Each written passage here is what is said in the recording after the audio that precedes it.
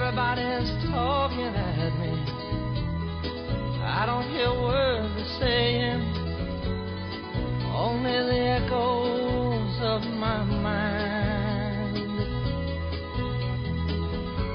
I'm going where the sun keeps shining through the pouring rain. The UK is switching to digital TV between now and 2012, and Al's telling everyone when they switch.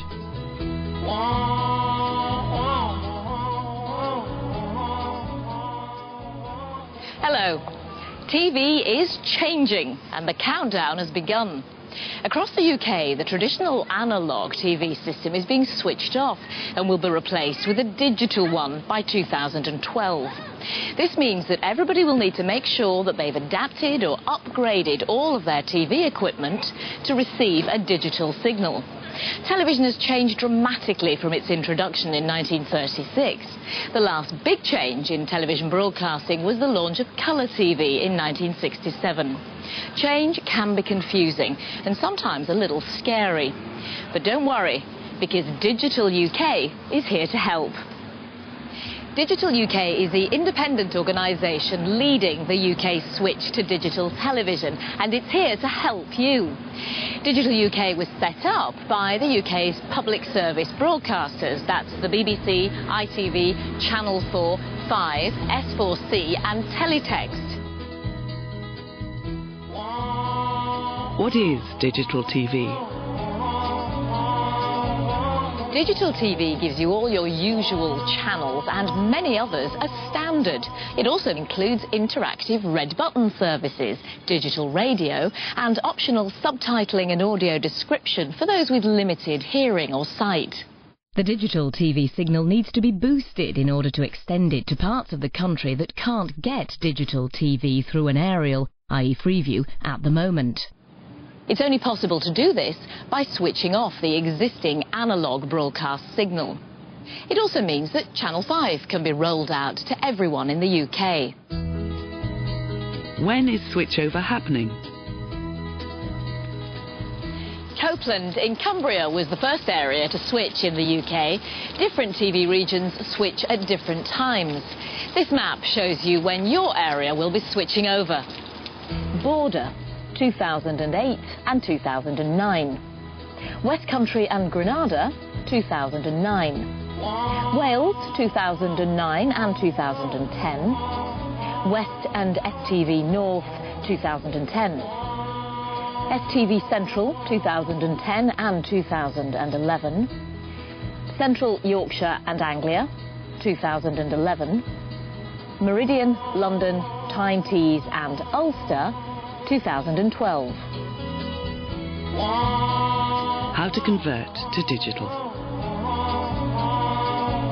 If your TV currently receives more than five or six channels, it's probably already digital. You don't need to buy a new TV. Any TV set, even a black and white one, can be converted with a digital box. However, if you are thinking about getting a new TV, consider buying one which has a digital box already built in. Remember, if you have more than one TV in your house, you'll have to ensure that each one can receive a digital signal if you want to continue to use it. The only thing I'll have to change is my little portable telly and connect that up to a Freeview box and I'll be ready to be digital for the switchover. You need to choose how to get your digital TV signal. This could be through an aerial, a satellite dish, via cable or through a phone line. New services are becoming available all the time, so to find out what's on offer in your area, contact Digital UK or use the postcode checker on the Digital UK website. If you decide to get Freeview, you should think about your aerial. It's estimated that 95% of people won't need to do anything to their aerials. As a general rule, if you get a good analogue picture now, you'll get a good digital picture at switchover. Finally, if you live in a flat, then you may share your aerial with other households. This is sometimes called a communal aerial. If so, this may need to be adapted to receive digital television. You should speak to your landlord or property manager now to check that they're planning for switchover. Your other TV equipment. Also, don't forget about your video recorder or DVD if you have one. After switchover, all VCRs and most DVD recorders will allow you to play back tapes and DVDs, but you'll only be able to record the channel you're watching. If you want to record one channel while watching another, you may need to get a digital TV recorder. What extra help is available? Digital UK have produced a number of handy leaflets and fact sheets offering practical assistance to help most people make the switch by themselves. There's also a friendly UK call centre if you'd like to discuss your options.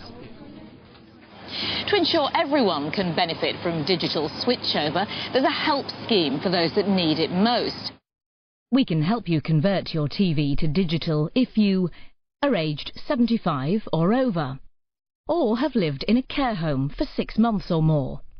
Or if you get or could get one of these benefits.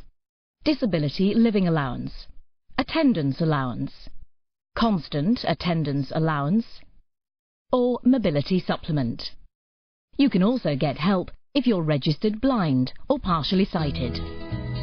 We were given a number to call uh, for our satellite dish to be installed and after some days someone came out and our satellite dish was installed and it was so easy for us to watch different channels on the television. The Help Scheme team will help you make the change to digital TV and will explain it to you clearly and simply. They'll tell you about all the options available and can install what you need in your home. They'll make sure you're happy with how it all works. I would say it was less than 10 minutes by the time he came in, you know, knocked on the door and installed it and Uh, away he went. It was really quick. And when he come, he was explaining what he was doing, what he was doing it, why he was doing it. If you're eligible, you'll automatically get information sent through the post in the run-up to switchover in your area. Helping you go digital.